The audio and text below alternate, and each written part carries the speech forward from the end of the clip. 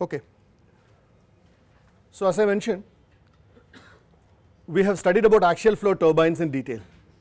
Okay. So, whatever we studied so far can be placed in one small subcategory of turbomachinery which is turbomachinery in large are rotating machines. Okay. Rotating machines have two broad categorizations one is machines that take high, high energy fluid exit low energy fluid and the difference in the energy of the fluid is given out in the form of a shaft work. So, these are called turbines okay turbines are those which extract work from a high energy fluid.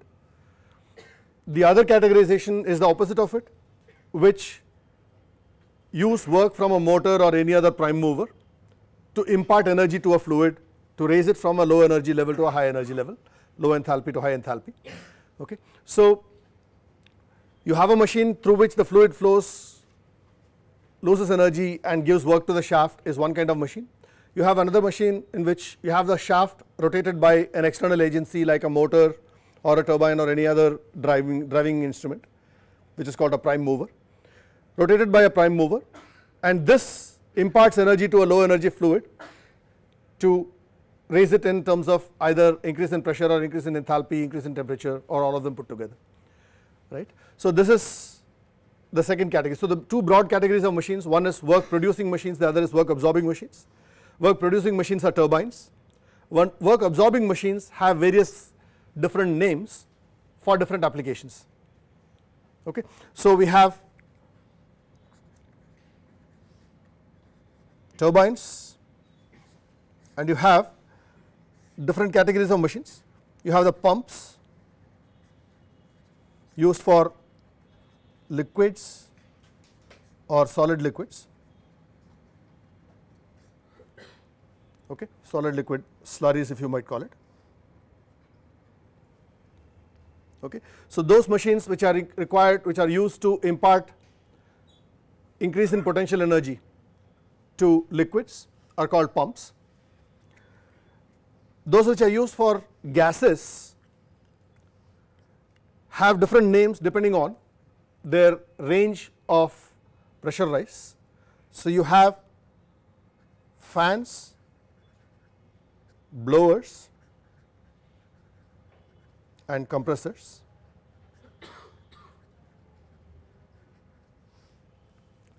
All of you must be familiar with the term fan because you use one category of fans for keeping comfortable in summer to move the air around in the room right. Fans are devices which produce a small pressure rise in uh, air streams. So, pressure rise delta P up to about 20 centimeters of water column. Okay. So, if you measure the pressure difference between the inlet and outlet of the fan using a manometer which has water as the liquid uh, working fluid, then you get about maximum of 20 centimeters of water column then the machine is categorized as a fan. Okay. So, these are low pressurized machines usually used for very large airflow rates, but small pressure rise. Examples your uh, air conditioning systems, air is taken from outdoors through the air, air handling unit and circulated to all the rooms that um, take the uh, centralized air conditioning air for example computer services center library large air conditioning system is kept in one place there is an air handling unit which takes air from the surrounding atmosphere filters it passes it through the air conditioning system and then takes it through a ductwork to various places. The machines that push air through this air handling unit and through the ducts are fans okay. The other example is the fans that you use, the ceiling fans and table fans that you use for air supply here. So, low pressurized large air volume handling units are called fans. Okay. Blowers are the next category.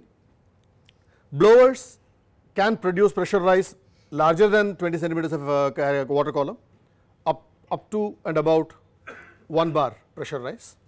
So, the delta P between the inlet and outlet of the blower can be as high as about 1 atmosphere Okay.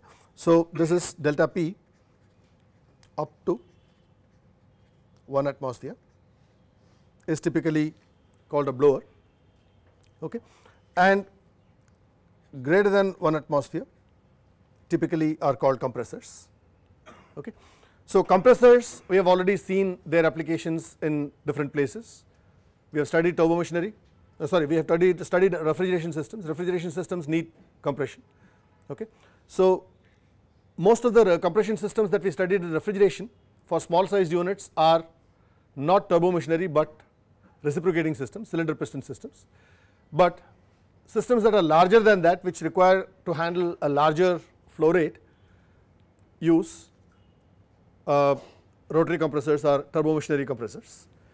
The other place where you saw a large compressor or rather you encountered a large compressor was the Dadri power station the gas turbine unit because gas turbines take air from the surrounding atmosphere compress it to a certain high pressure before uh, burning fuel in it. So, this compression is done in a compressor. Okay. So, compressors are larger pressurized machines and blowers are machines that are in between the two right. Blowers are commonly used the most common usage of blower that you might have seen is your heat convector that you use in winter okay. So, you also use blowers in some of the window air conditioners which takes the air from the room and then recirculates it through the uh, evaporator coil you use a blower for that okay. So, blowers normally produce a slightly higher uh, pressure rise as compared to fans. So, these are the broad categorization of uh, turbo machinery and in each of these depending on the direction in which the fluid flow occurs the machines are categorized as centrifugal or radial axial machines or axial flow machines or mixed flow machines. Okay. So, for example, in the uh, turbo machine lab when you uh, visited the lab you saw a centrifugal uh, impeller okay a machine which looked something like this you had a circular disc on which you had radial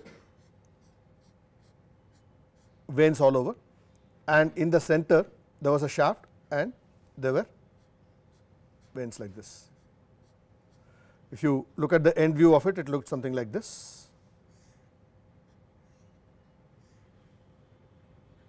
This had a shaft possibility here and there is a disc and then there are these vanes which are mounted around the central axis. So, you had many of these vanes like these around the periphery. Okay. So, this is a kind of machine.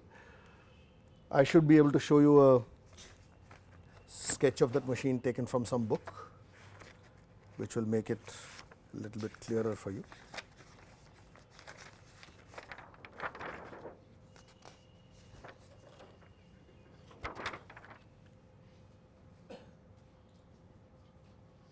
Okay.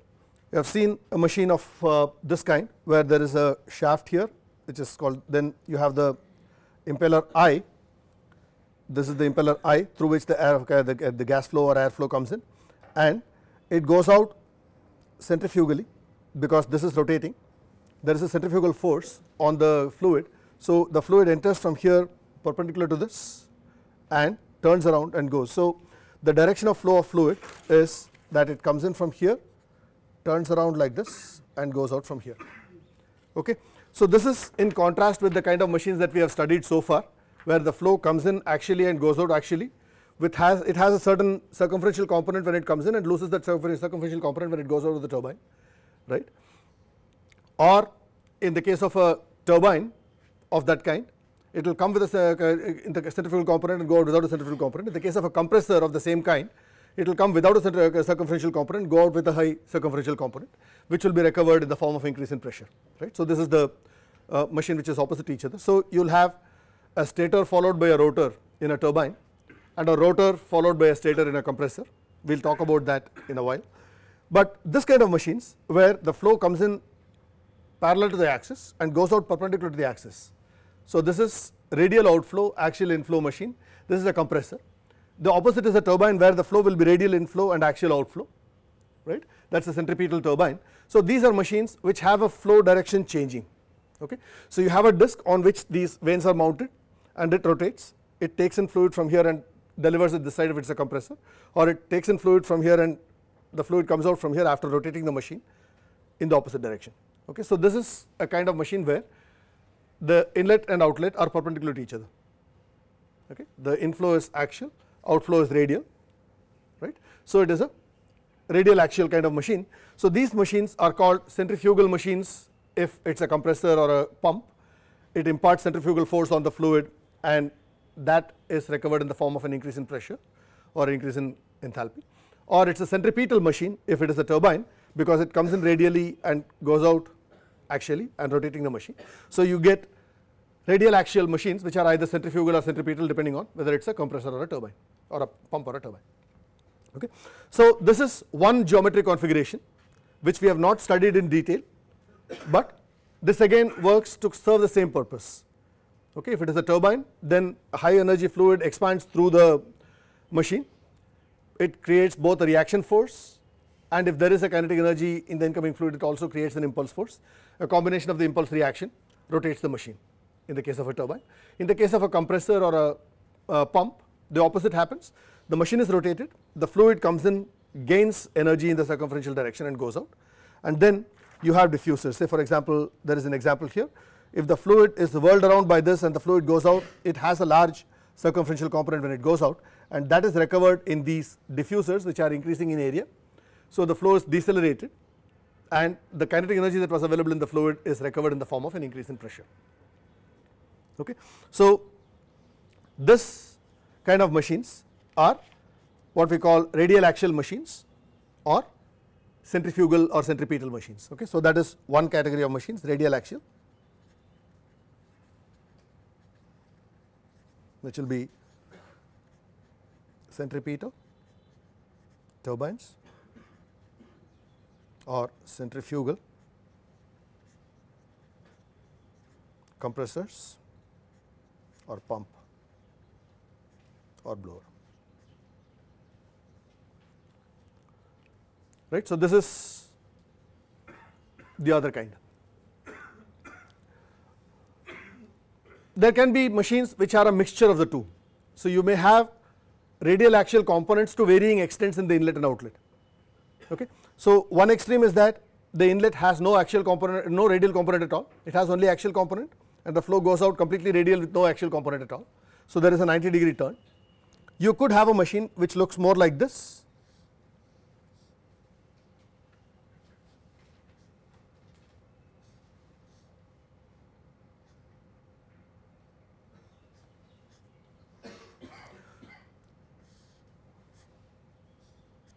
So, the flow comes in with a certain amount of inclination to the axis and go out with a certain amount of inclination to the axis. Okay. So, this flow could be completely axial or could have a slight amount of radial component and this flow also can have some amount of axial component. So, you can have uh, machines which have a 90 degree turn less than 90 degree turn to a machine which is no turn whatsoever which is the axial flow. Okay. So, we have seen machines in which the flow just comes in goes through the rotating blades and goes out axially that is this category of machines. Okay. This is a category of machines where the flow comes in like this and goes completely perpendicular to it. There can be flows which go at an angle come in at an angle go out at an angle. This angle if it goes on changing finally from this you evolve to this. So, you can have machines gradually changes from the centrifugal or centripetal design all the way up to the axial design. The change in angle of the flow with the axial direction can be substantially different from 90. Okay. In, in, in case of 90, in case of in case of 90 you get this centrifugal machine and in case of 0 you get the axial machine and anywhere between 0 and 90 you get what we call the mixed flow machines. Okay. You have a radial axial and axial flow mixed together so, you have mixed flow machines. So, the shape of the vane uh, determines that okay.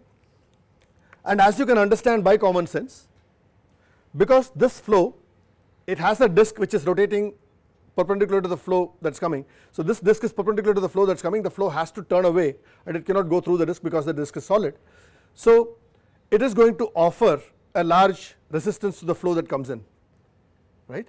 Although it produces a large pressure rise the amount of mass flow rate it can handle would be limited right. So, when the mass flow handled is limited but the pressure rise is high you use this kind of a machine. When the mass flow to be handled is very large but the pressure rise is relatively lower you use this kind of machines. So, there is a gradual change from there to here. So, there are two quantities that we look at here one is m dot the other is delta p okay. So, in the case of flows that change direction substantially the delta p would be high.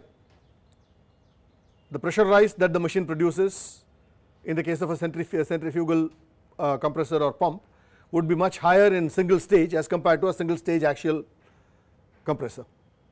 Okay. Similarly in the case of turbine a single stage expansion of a centripetal turbine can produce a much larger pressure ratio as compared to a single stage axial turbine okay. But the m dot is limited when the flow has to turn substantially okay. So when you have to handle small m dot with large delta p you use this kind of machines when you have to use large m dot with small delta p you use this kind of machines and there is a whole range that you have in between okay. So normally we uh, try to use a certain combination of these two to define what we call the specific speed of the machine okay. So the specific speed of the machine you could define it in some particular way like this. For uh,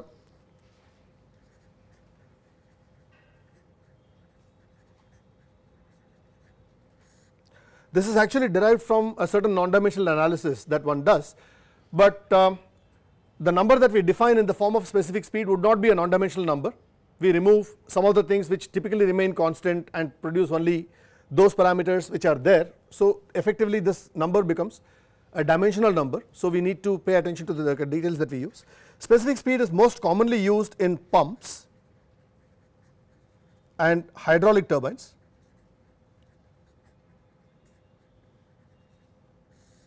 Although its concept can be extended also to the other kinds of machine using the non-dimensional analysis. So, what we define for turbines ns for T we define it as n multiplied by square root of p divided by h to the power of 5 by 4. I will tell you what these parameters are. This is for turbines and for pumps you write it as NSP is n multiplied by square root of q divided by h to the power of 3 by 4 where P is the power output of the turbine in kilowatts and N is the RPM the speed of the rotation in revolutions per minute and uh, H is the head in meters. In the case of hydro turbines the pressure of the water upstream of the turbine is measured by the height from which the water is flowing right. So, if you uh, look at a hydraulic uh, machinery, hydraulic machinery normally use the elevation of water or the potential energy of water which is converted into kinetic energy at the nozzles as well as expansion through the reaction turbines. So, this pressure head is called H. So, if um, this is the level of the turbine and this is the level of water there initially the difference between the two will be the H. So, if you have a reservoir whose level is at a certain elevation above sea level, let us say 1000 meters above sea level and the turbine axis let us say is 200 meters above sea level, there is a 800 meter head that is available for this turbine. Right. So, the head is basically the level difference between the level of water in the reservoir from which water is drawn for the turbine and the level of the axis of the turbine. So, this is what we call the head right. If you uh, try to look at the equivalence for uh, a gas turbine or a steam turbine this H would basically be a representative of delta P across the turbine, pressure differential across the turbine, right. This power would be the same, N would be the same, but this H is actually a representative of the pressure, the pressure, uh, pressure drop or pressure rise across the turbine. Okay. In the case of a pressure uh, turbine, it's a pressure uh, drop, and in the case of a pump, it's a pressure rise. And Q is the flow rate of water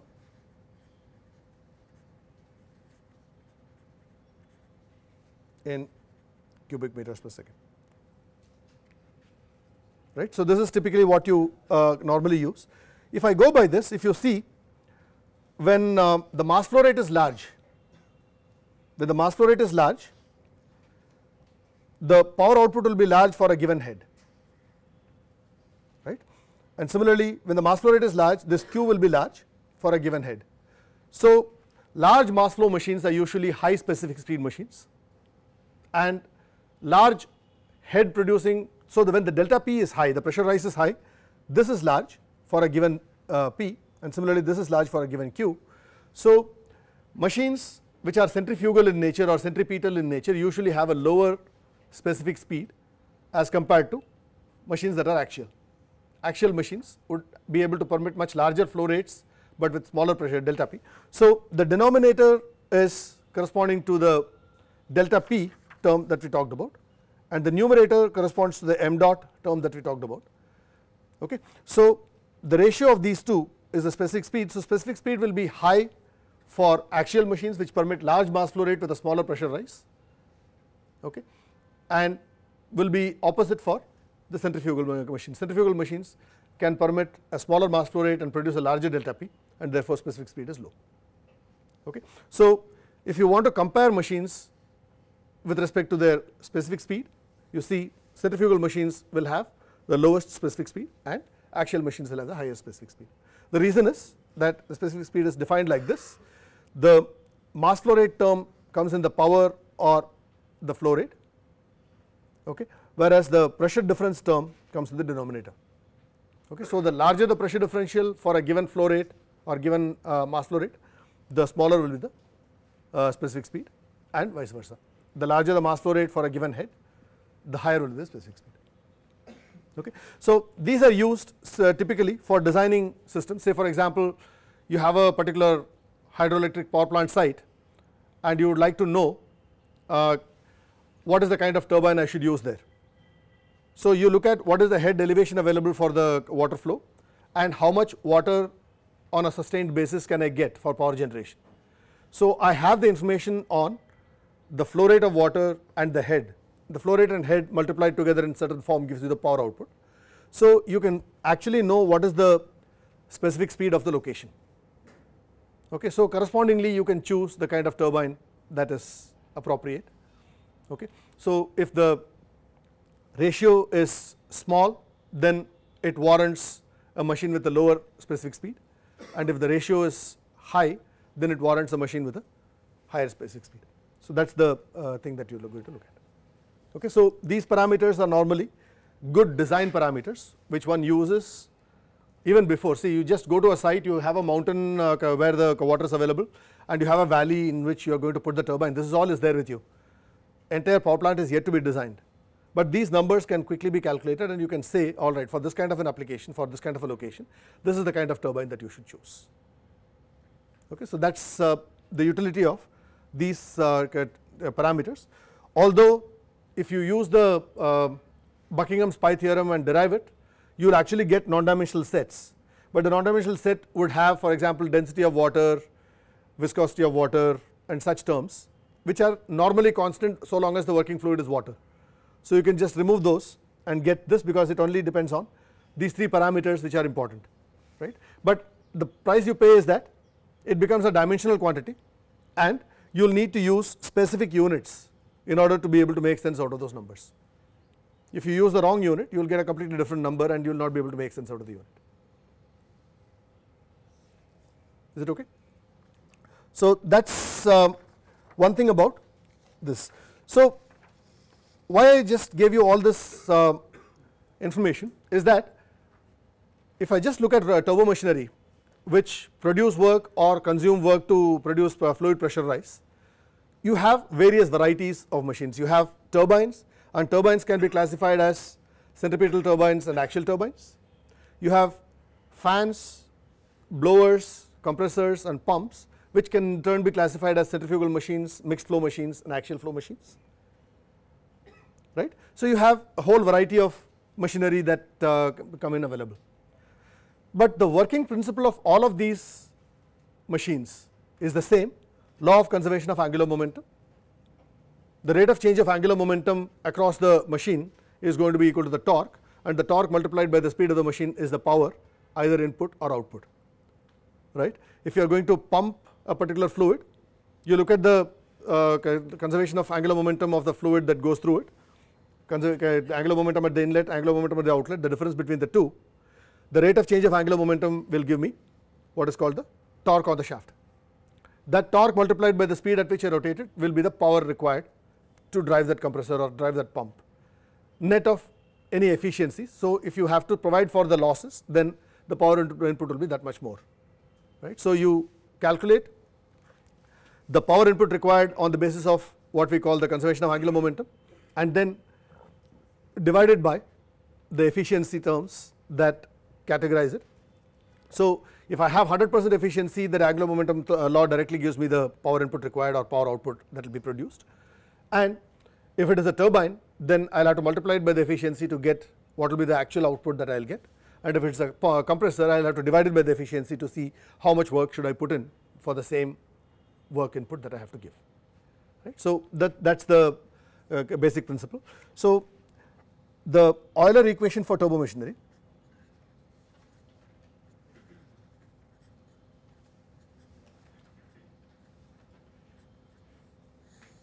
which is nothing but the law of conservation of angular momentum is the basic work, working principle of all of these machines. Yeah.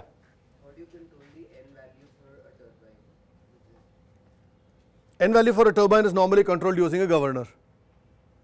Okay. So, uh, you control the fluid inflow and outflow based on a sensor which senses the speed of the turbine. If the speed goes beyond the design value, it cuts off the fluid input and if the speed goes below then it increases the fluid input so as to keep the speed the same. That is what is normally done.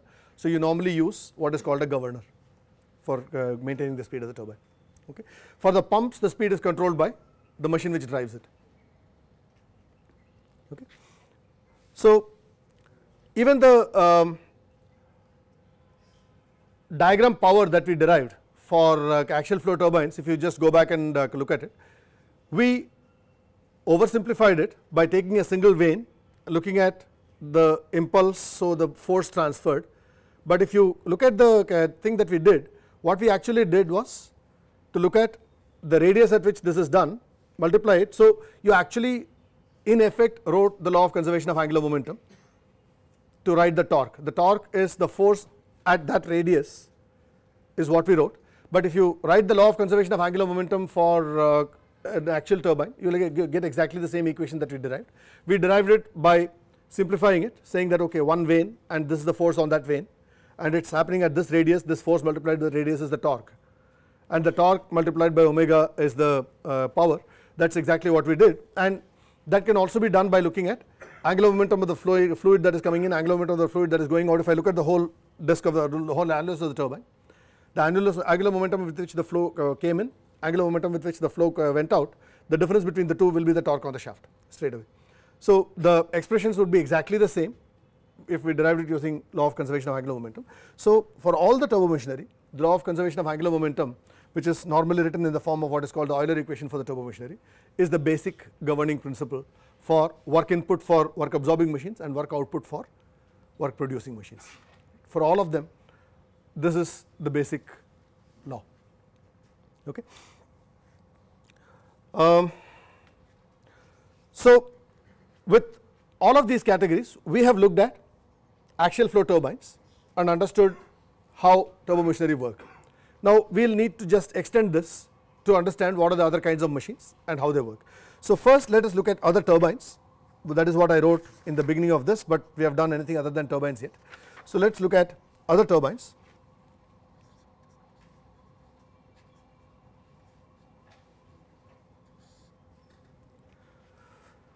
So axial flow is done, then we have the centripetal turbines.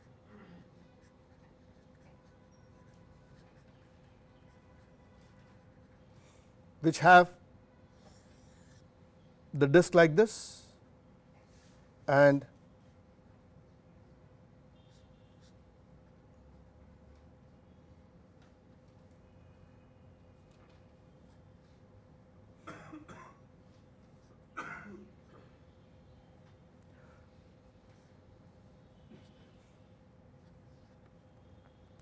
So, you have several such vanes around this uh, disk. So, in centripetal turbines the flow enters from here, turns around here and goes out axially and in this process the flow tries to accelerate through the turbine because it is going from a larger radius to a smaller radius. So, the flow velocities would try to increase and that increase in velocity produces a reaction. So, in the circumferential direction it comes in with a certain uh, inflow velocity which is created by a certain set of nozzles. And then this expansion as well as the uh, incoming kinetic energy are transferred to these vanes and make, the, make them rotate. Okay. So, it is exactly the same principle as in the axial machines only thing is the flow direction is uh, changing from radial to axial it comes in radially and goes out axially. So, in uh, these machines what we normally have is a volute kind of structure the flow comes in and goes around that volute and from the volute it enters the turbine and goes out through the axis of the turbine. So, you will have a volute like this and the axis which is slightly eccentric on this uh, line and on this line which is actually the machine will be closer to this side. The lip here will have the smallest spacing that is how it goes. So, the flow enters from here fills this gap and enters this. So, while filling this gap itself there is a certain circumferential component of the velocity that it gains because of the shape of the volute and that circumferential component it enters this turbine and makes it rotate in this, this direction and the flow comes out here with practically 0 axial component, uh, 0 circumferential component and all the circumferential component that was there in the flow is delivered to the shaft as power right. So, this is typically how the centrifugal machines work. There are some centrifugal machines in which you also have a stator rotor kind of structure where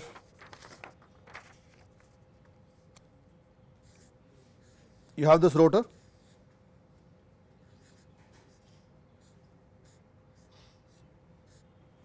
And you have stators which produce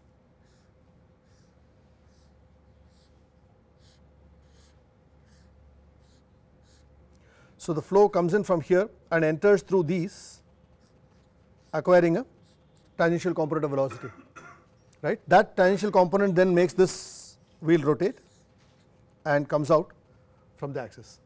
Okay. So, these are stator vanes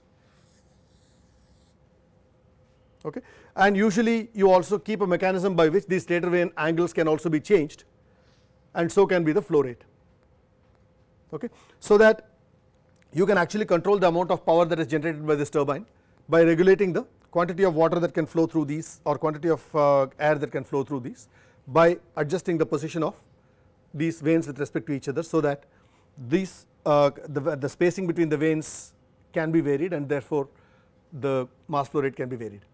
And similarly when these vanes are turned their angle also changes.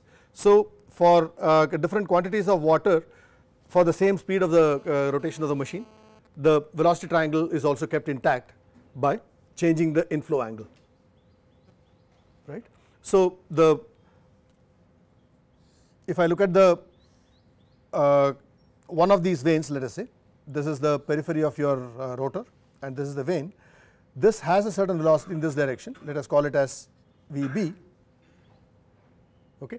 The relative velocity has to be in this direction. The relative velocity of inflow has to be in this direction. So, the absolute velocity this is V r and therefore, the absolute velocity V 1 has to be in this direction. Okay. Now, if the mass flow rate is reduced, if I reduce the mass flow rate then V r has to be reduced because V radial component is the mass flow rate component here because the flow has to go in this that is the uh, mass flow component. So, if I reduce the mass flow rate then the angle at which the flow has to come in also has to change. So, that for the same V b for different V r the flow is still going tangential here.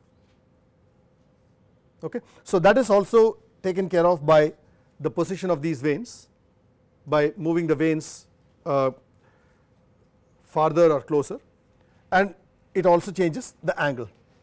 So, that the flow always enters tangentially to the vane right. So, it is the same principle as we used in the axial flow turbines here also, but here the geometry is different. So, correspondingly you need to try and ensure tangential entry at the rotor at the inlet right. So, this is your uh, centripetal turbine with instead of a volute the, uh, the, the one way of doing it is volute okay, through which you make the flow come in the form of a spiral and then enter into this and come out and here you create the spiral by using stationary guide vanes whose angle can also be adjusted to uh, vary the mass flow rate as well as the inlet angle which is if you want to call it this is alpha 1 you can vary the alpha 1 value. Is it okay? So, that is about uh, centripetal machines. Okay. Besides these, you have different kinds of water turbines. Okay.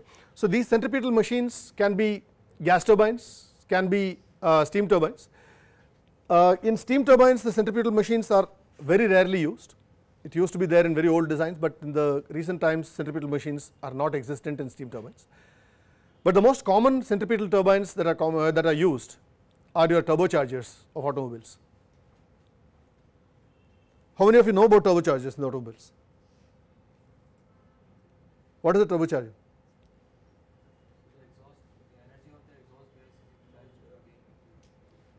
So, the exhaust gases that you let out of the engine are at a very high temperature and if you monitor or manage the cycle parameters in such a way it can also be let out at a higher pressure because you are letting it out from the compressed expansion of the cylinder.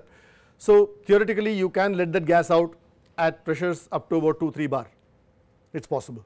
So, what you try to do is to utilize this high pressure high temperature gas to run a turbine okay and this turbine is connected to a compressor which takes an atmospheric air compresses it and delivers it to the engine so that in the same volume of the engine if the gases are delivered at a higher pressure then you can have more air that can fill the engine and if you can fill more air in a, a given engine then it can burn more fuel and therefore for a given volume the engine becomes more powerful right. So this is the principle of a turbocharger. So the turbocharger simply has a centripetal turbine and a centrifugal compressor connected back to back that is the most compact design that you can find. So you will have you have a centripetal turbine and the axis connects to a centrifugal compressor which also has the same shape. Okay. So, this has a volute around it and this is connected to the air filter.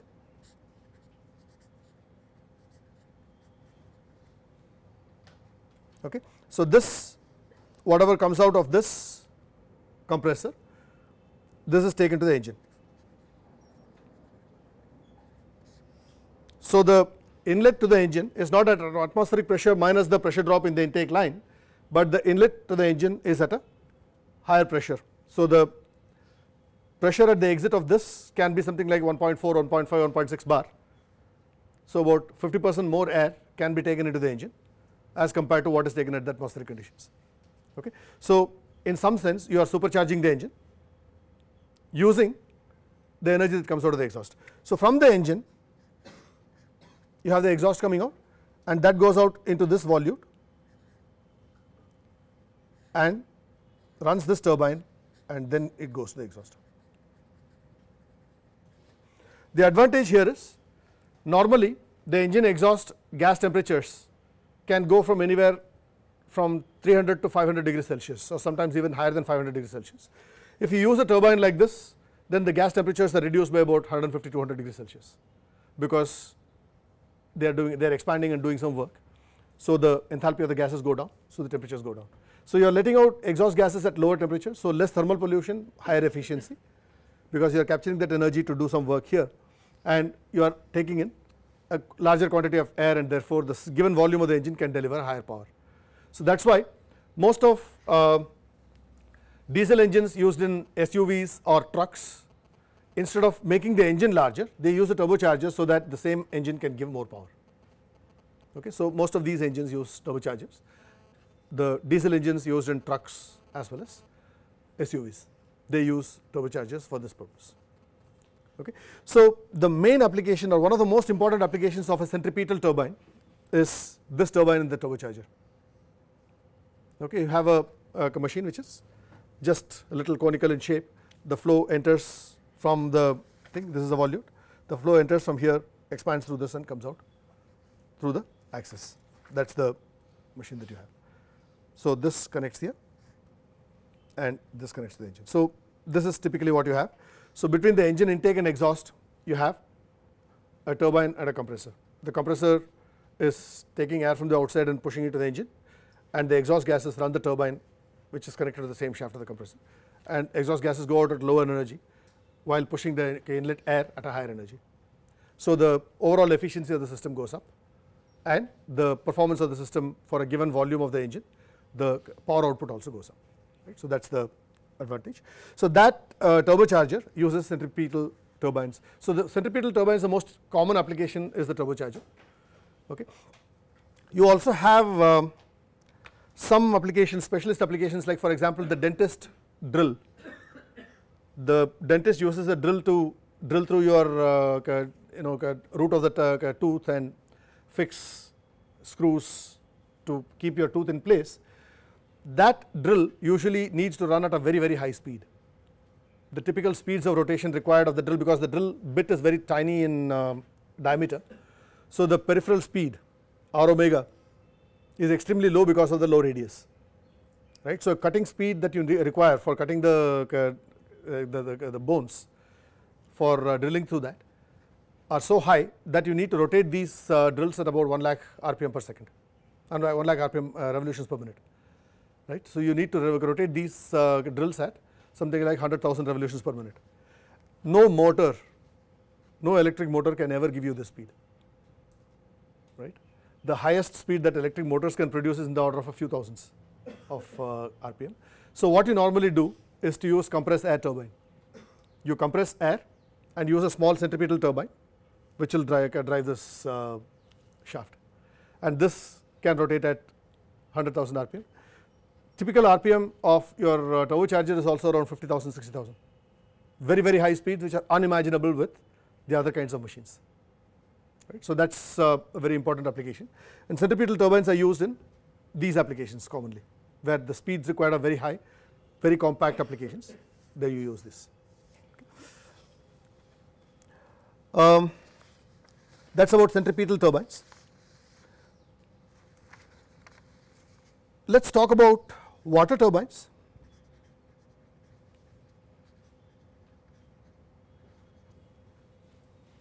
Water turbines I think I might have a couple of uh, videos that um, can explain this.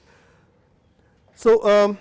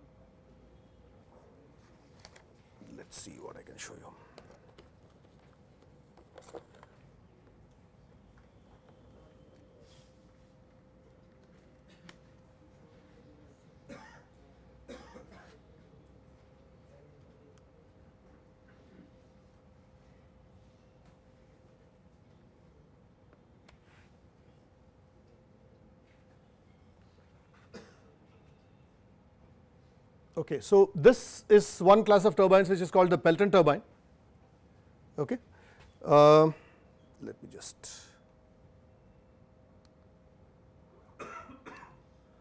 Okay, so this gives you a, a picture of uh, a disc on which buckets of this kind with two concaves in it with a central uh, central rib as you can see it here there is a central rib here and there are two concaves here two cups okay?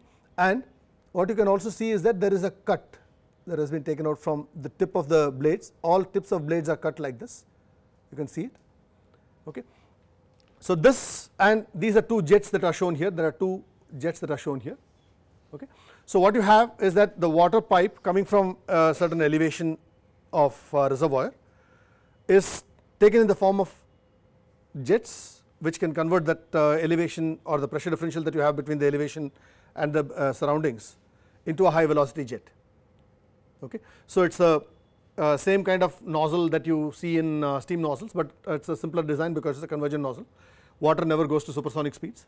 So it's a, a, a convergent nozzle which increases the uh, velocity of the flow depending on the delta p that's available between the inside of the pipe and the surrounding atmosphere so that gets very high speed small focused jets of water and that jet would go and impinge on this rib and get split into two parts okay.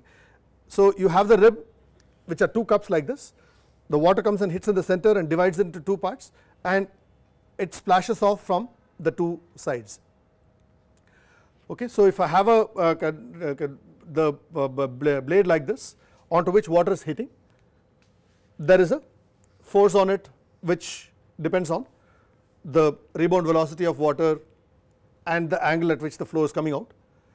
So the law of conservation of angular momentum or if you can use the same law that we did the amount of impulse force that is on the uh, vane multiplied by the radius will give you the torque and if you have multiple such jets you can add up all of those uh, torques that will be the total torque produced and the speed at which it rotates will give you the power output. So that is how this is operated. So the jets are here the cut that is there at the tip is because okay the blade has taken the jet and now it is going off and the next blade has to come in okay. So in this part what can happen is the next blade can actually interrupt the flow before it actually comes into position by taking the flow at the tip and interrupt the flow that is actually capable of producing better work if it directly hits this vane. So you cut the tip of this vane so that the flow is continuing to hit this blade. So it hits on this as it goes from here to here it the vane the flow comes. So it starts hitting at the tip and finishes off hitting at the root and then the next uh, blade is in position to do the same thing and in repetition. So that is the reason why for clearing uh, the water to hit the previous blade you give a certain amount of cut on each of these blades and that is why the blades look such interesting in shape.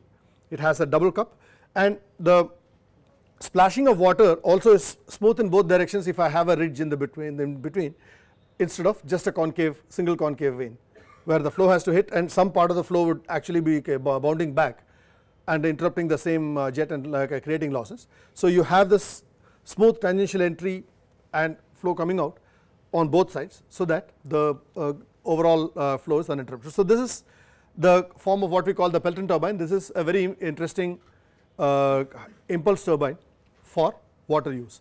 This is very different from what we uh, like looked at as impulse turbines in steam turbine or gas turbine, but this is the design for Pelton turbine. Okay.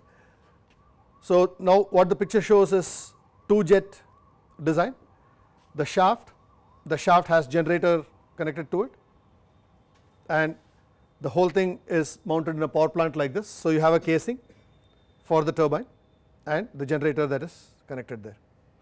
Now this is another kind of turbine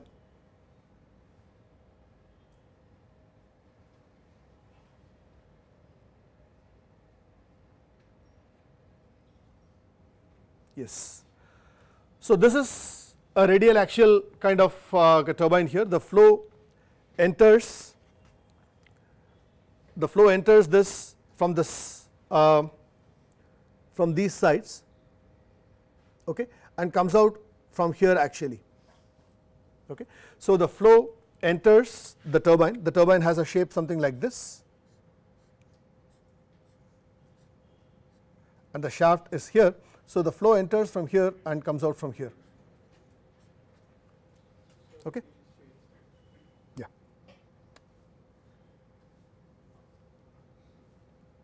Right? So this has a shape like this. And this is the shaft. The flow enters from here and comes out from here. So it's a sort of radial axial or in some sense a mixed flow design here because it's actually not entering radially here but it is entering at an angle and going out axially. Okay so it's a centripetal turbine but at the inlet a certain angle. Okay so that is the uh, difference here. So this is a radial axial turbine normally called a Francis turbine in the case of uh, water turbines. Each of the uh, water turbines are called by the name of the inventor. So this is a Francis turbine. So you can see this is a, spiral that is casing that is put around it. And this is the poles of the generator which are connected to it by the shaft. Okay? And uh, this is how the whole system looks. Now the third one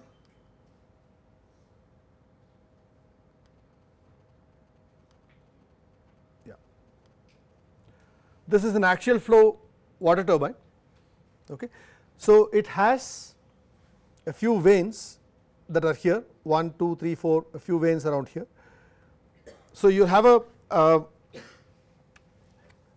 an axis like this and on the axis you would have blades like this.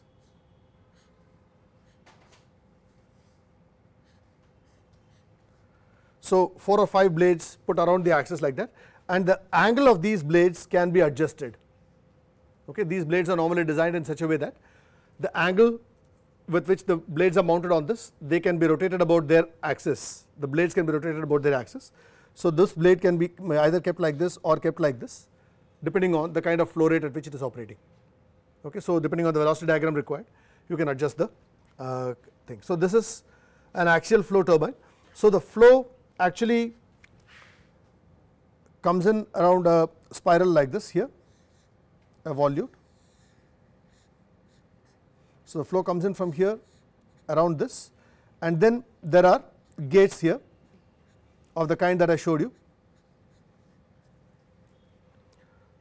The gates of the kind that I showed you which can be adjusted.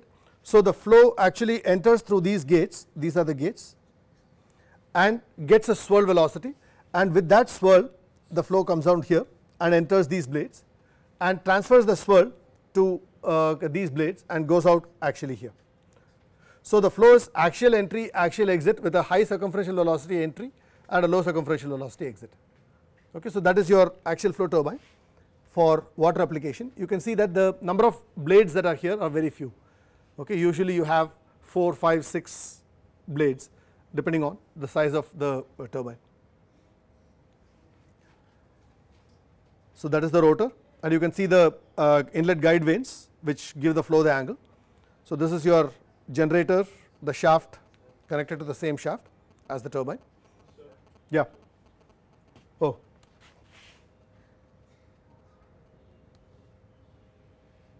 Uh, this is your Francis turbine over.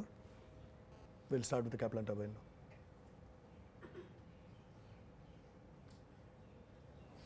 Yeah. So, this is your main turbine and the thing you can see the inlet guide vanes that I showed you there and that is the generator shaft, generator poles, these two are connected in the shaft. Okay, so the water comes in through the uh, spiral casing and runs the thing and goes out through the axis. And this is your generator and the whole power plant looks like that. Okay, so that's the uh, design of various uh, water turbines. Um, I will just show you a Pelton turbine working. This is what I was actually mentioning about. a jet hitting the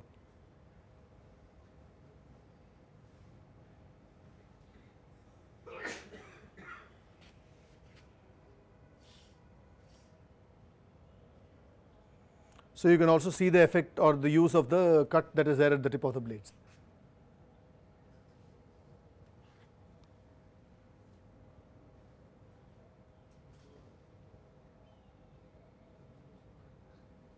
What happened to the network? It's slow.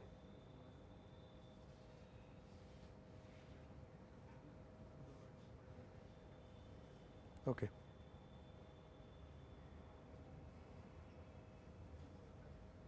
Okay, it's a very slow uh, animation of this.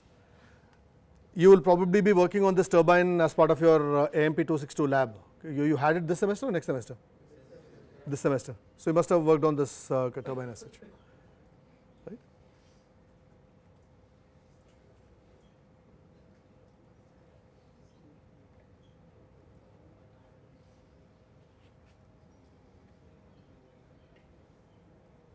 Okay, so this is basically how uh, hydraulic turbine is assembled. Usually hydraulic turbines are huge in size. These are the guide vanes which I talked about. They can be rotated to open or close the passage.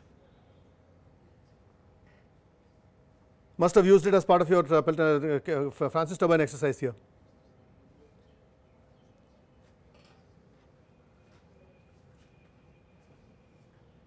You can look at the size of the machines with respect to the size of the human being that is there.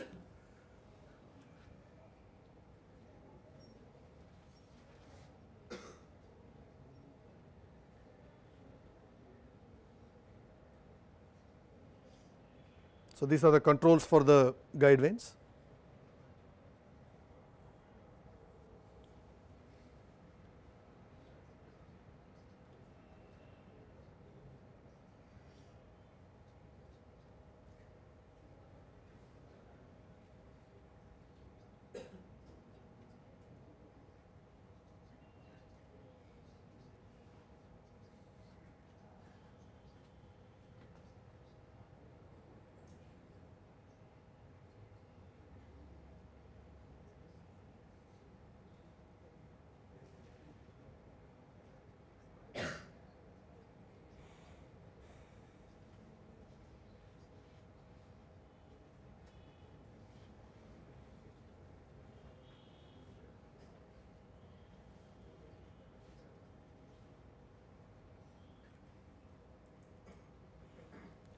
Right just to uh, give you an idea of the typical size of a machine.